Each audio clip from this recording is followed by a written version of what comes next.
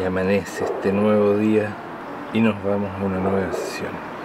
Es mi cliente Cafarena, así que es ropa de invierno y listo.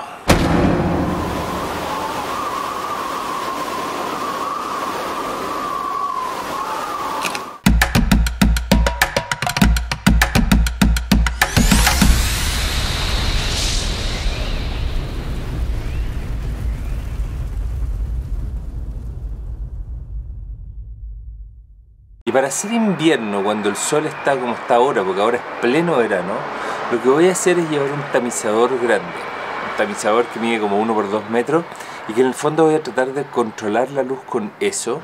Y estoy llevando un par de luces a batería que en el fondo me van a permitir manejar yo la luz. Y si yo quiero hacer una luz más arrastrada, poder hacerla con estas luces artificiales, más que tratar de usar el sol.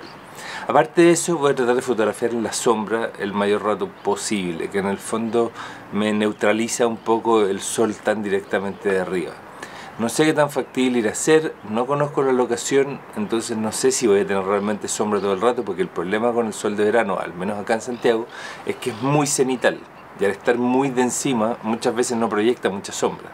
Así que quiero tratar de fotografiar harto en la mañana, quizás en la tarde, vamos a ir viendo. Pero llevo mi propia sombra. Vamos entonces a la locación como les dije en Huechuraba, Entre Muros se llama.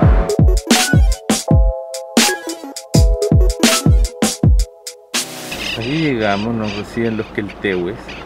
Vamos a armar entonces este tamizador que es de como 1 por 2 metros más o menos con un marco de aluminio que hace que las telas que están acá se mantengan bastante más estables que lo que son un reflector normal así que eso funciona súper bien para exteriores y todo aunque necesitáis como más estabilidad tenemos estos muros aquí que están re lindos tenemos estos otros muros acá y tenemos la parte nueva que está allá. Tenemos que definir con el cliente el tema de si se va a usar la parte antigua de los muros o la parte nueva de los muros. Está todo lindo. Ahora, el tema va a ser de nuevo el sol. Estoy usando este lente, que es el 80 milímetros, porque va a ser mejor un lente más largo, de manera de tener un campo de visión más chico y poder ocupar al máximo las locaciones.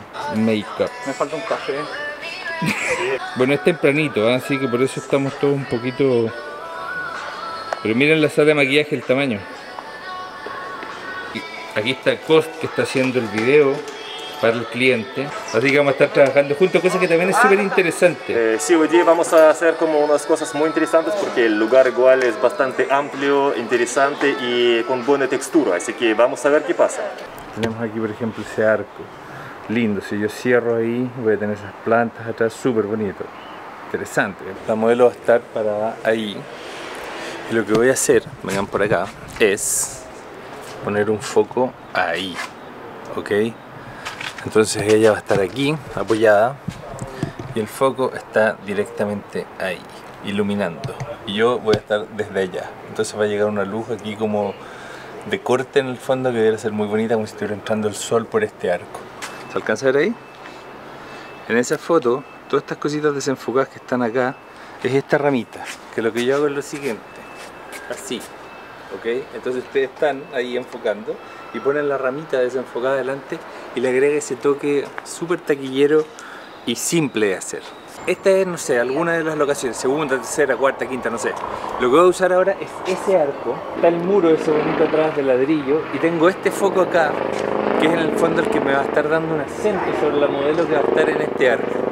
Entonces la quiero ella enmarcada en el arco con el cielo atrás que se va a ver y el foco acentuando esta cosa. Porque afortunadamente salieron estas nubes en un día que esperábamos que iba a ser un sol horroroso.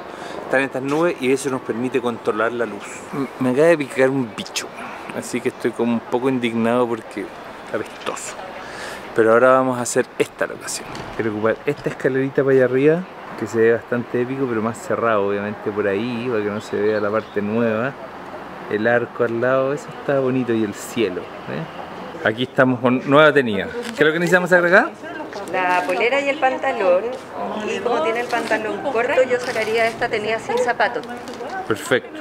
Pero miren qué bonito que se ve eso. Ya, pero una maravilla contra el cielo. Vamos aquí con Martín a esta nueva locación, que es, es como un, un- un rincón del asunto porque se ve súper, súper, súper bonito. Y miren para allá. Voy a cerrar el lente. Miren cómo se ve eso. Ahora, si me acerco, pierdo estos dos postes acá y terminamos con eso. Entonces estamos con este tamizador dominando el sol y con ese foco dando sol de nuevo pero controlado. Allá arriba en una toma absolutamente épica. Así que vamos a aprovechar de hacer todo allá arriba. Una de las grandes gracias de trabajar con tres modelos es que podemos ir cambiando. Entonces mientras yo estoy haciendo, mientras Costa haciendo el video, yo estoy haciendo la foto, se está cambiando y así no paramos. Así que eso es más hectic, pero funciona súper bien. A pesar de que el lugar no es tan grande, pero a pesar de que el lugar no es tan grande, da para un montón de cuestiones, entonces hemos podido ir cambiando todo el rato y eso lo hace mucho más entretenido. No solo para mí, para los modelos también. Todo, todo el mundo se entretiene más si tenéis cosas variadas y no estar haciendo la misma pose y la misma cosa todo el rato.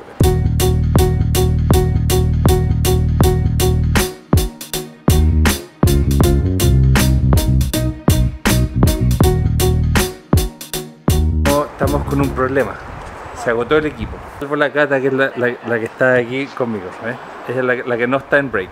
Vamos con la Vane. Lo que estoy buscando acá es lo siguiente. Va a estar ella iluminada como estoy yo en este minuto. Y detrás de ella va a haber un muro a la sombra, que es ese muro que se ve allá atrás. ¿Ok? Entonces con eso logro la separación. Ella va a estar retroiluminada por el sol. Perfecto, y para atrás y de nuevo, sigue más. Súper.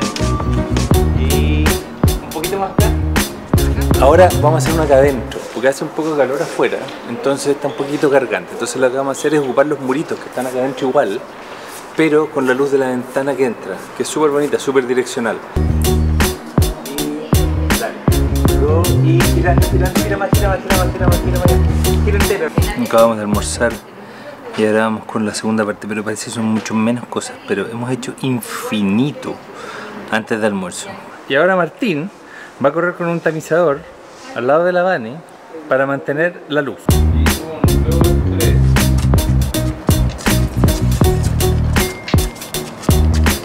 Lo voy a entrevistar. ¿Están pasando bien? ¿Les encanta trabajar en Cafarena, no?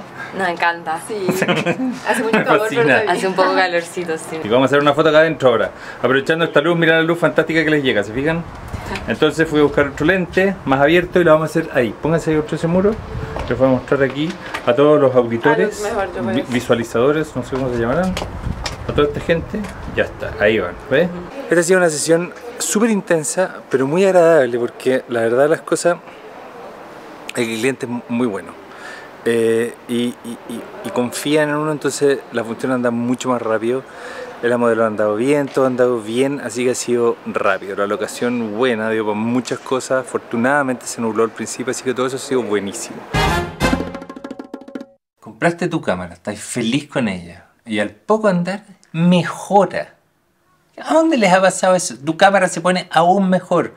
¿Por qué? Porque Fuji lanza firmwares constantemente dándole upgrades a tus cámaras. Tus cámaras se ponen mejores, enfocan más rápido, nuevas funcionalidades, nuevas simulaciones de películas. Todo eso va pasando en tiempo real. Entonces tu cámara, que puede tener 6 años como esta, sigue vigente. Y eso es impagable. Se están preocupando desde la fábrica de ti años después de que compraste la cámara. ¿Dónde han visto eso?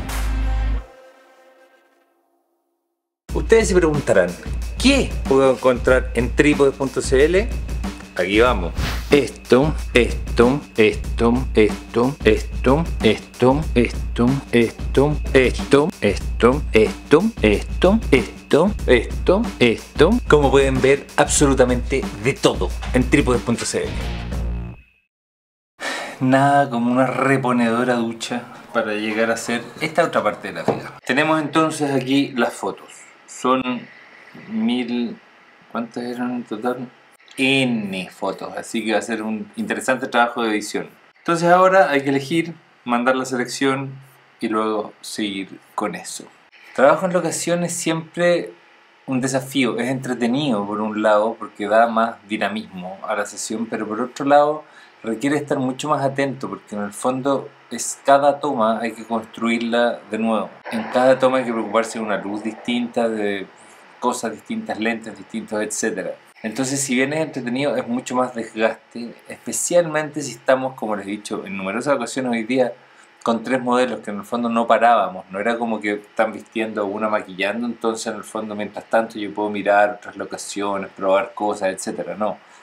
Terminaba con una y estaba lista la otra y ahora vamos al otro, vamos al otro. Entonces mientras estaba haciendo una foto estaba mirando, decía como ok, podría ser ahí y nos íbamos moviendo a través de la locación. El tema con estas fotos es el siguiente. Si, se acuerdan, no teníamos tan claro qué es lo que se iba a hacer, pero una vez que estábamos allá, empieza a agarrar una onda y empieza a ver una idea de lo que sí estamos haciendo y cuál es la, como la sensación que queremos dar. Y en general fue más alegre, ¿ok? Entonces lo que estoy haciendo acá es elegir fotos que en general las modelos vayan con una cara más sonriente. Y por otro lado mantener una cosa lo más natural posible. Estas fotos todavía no tienen ningún tipo de postprocesado ni nada, tan tal cual. Como ven acá hay fotos que son pruebas de luz, que van mejorando de repente, qué sé yo. Entonces según eso vamos a ir haciendo la selección. Independiente de que estas fotos no van en una moda, no es una editorial que sean como, no sé, 10 fotos todas juntas. Esto va a ir saliendo en redes sociales, tampoco, qué sé yo. Igual me gusta que tenga cierta coherencia. Tengo ya lista la selección de fotos, en este minuto ya las estoy exportando. Y aquí les puedo mostrar más o menos cuántas elegí de cada una. Hay algunas fotos, por ejemplo estas, en que salen más de una persona, que hay tres personas en cada una de las fotos, que se eligen más porque en el fondo es más difícil que salgan todas bien y qué sé yo. Tenemos que ver qué es lo que vamos a hacer con cada una de esas tomas. Tienen todo un post procesado leve para dar una idea del tono que quiero darle a las fotos, pero cada una de las fotos que se elijan finalmente después tienen que ser retocadas correctamente. Esta es la selección que yo les mando al cliente. Cliente de ahí elige la foto, una de cada una de estas tomas, se retocan y se entregan. Eh, y lo que tengo que ir haciendo es ver aquí el, este y juntar con las fotos de acá, de Lightroom. Y las voy marcando con rojo.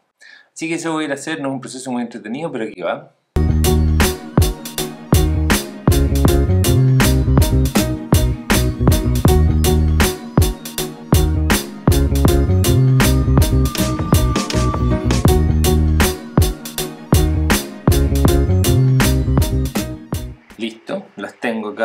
Entonces ahora voy aquí al rojo. Y estas son todas las fotos que tengo que retocar. O sea, no son todas reto- retocar en realidad. Tengo que arreglar el color a todas y retocar la mitad. Esta ya les hice un revelado leve. Eh, por ejemplo, en este caso lo que sí había que hacer con esta, si ustedes la comparan con la foto original, era el tema del cielo. El cielo se fijan que casi no se ve, entonces ¿qué es lo que hice? Yo me llevé los azules más abajo. Si ustedes ven acá, van a ver que en luminancia los azules están más abajo. ¿Ok? Y de ahí le vamos a agregar un poquito de esto para darle ese toque más invernal. Vamos a llevar las sombras un poquito más al azul y las luces un pelo hacia, hacia el naranjo, pero más hacia el verde. Si se fijan acá no es más hacia el rojo, sino que más para acá, para que dé nuevo ese tono más invernal. De repente podríamos contrastar un poco más también, eso la luz de invierno suele ser más contrastada que la otra, pero tenemos que ver ahí que no se nos vaya muy, muy bajo los negros, porque en el fondo no se va a entender el pantalón, que es una de las cosas que queremos mostrar. Pero en este caso tienen que acordarse que estamos vendiendo ropa. Yo no puedo llegar y cambiar los colores radicalmente o irme muy cargado hacia una cosa, porque no es editorial, es- es- es venta. Es, ok, yo quiero esa chaqueta y esa chaqueta se tiene que entender que es de ese color o esa polera o ese pantalón.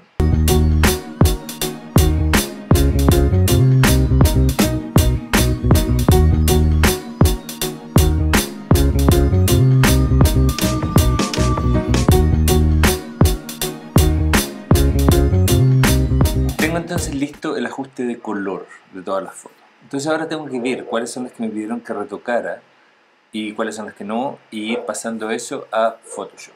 Entonces lo primero que voy a hacer es ir aquí al PPT este que me y voy a ir en orden. De la primera foto, esta es la que tengo que retocar, la que está con las manos ahí haciendo la cosa, la otra no. Entonces voy a ir a esa, la elijo acá, esta entonces ya está lista, le ponemos 5 estrellitas al tiro. Y esta la pasamos a Photoshop. Una de las cosas que me pidieron que retocara era los tobillos, que ojalá no se vieran los tobillos para que se vea más invernal. ¿ok? No en todas las fotos lo voy a poder hacer porque hay algunas que están con zapatos que son muy bajos, que son muy como zapatos que se ve mucho el pie y que no hay mucho que hacer. Pero en varias sí puedo hacerlo, como en esta, por ejemplo. Entonces voy a ir haciendo eso. Duplicamos la capa, como siempre, y de ahí partimos. Y voy a ir desde la cara, el cuerpo y qué sé yo.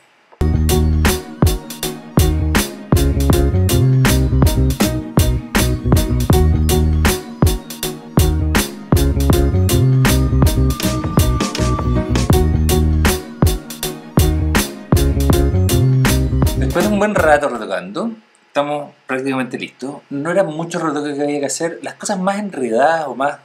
¿eh? Son, eh, era el tema de los pantalones, que les voy a mostrar aquí un ejemplo, eh, por ejemplo aquí. Esto era invierno, ¿ok? Y se supone que tenía que verse como más helado. Cuando se ve mucho el tobillo, como en este caso, pasa que no se ve tan, no se lee tan invierno. Entonces me pidieron alargar los pantalones que lo comenté hace un rato. Entonces esto es lo que quedó. Por ejemplo, acá también, a ver, ahí está, así. ¿Se fijan? Con alargado, sin alargado. Eso yo les diría que era lo más engorroso de hacer de este retoque, pero no es algo poco común, es algo bastante común de hecho, tener que alargar las cosas. Así que eso es. Ahora eh, voy a agarrar todas estas fotos, las tengo que exportar y enviar al cliente para su OK final. Les voy a dejar también el, toda la selección final con las tomas finales para que las puedan ver, a ver cómo quedaron. Esta es la pega como del día a día, digamos, el, el, la cosa que uno más hace, o que a mí más me toca hacer. En este caso, lo más entretenido fue el tema de la locación. Estar cambiando de locación todo el rato, estar teniendo que inventar algo nuevo en cada locación, solucionando el tema de la luz, como vieron ya en las imágenes. Eso es súper entretenido. Eh, y para uno como fotógrafo, uno de repente engancha con distintas cosas. Hay veces que uno va a enganchar netamente con el personaje, hay veces que va a enganchar con la situación, hay veces que va a enganchar con el desafío lumínico de hacer esto. Y en este caso se juntaban varias cosas. La verdad es que fue súper entretenido, así que nada, feliz con esta pega. Aquí termina entonces otro capítulo, les dejo las fotos finales y los espero en el próximo. Que estén súper bien. Chao.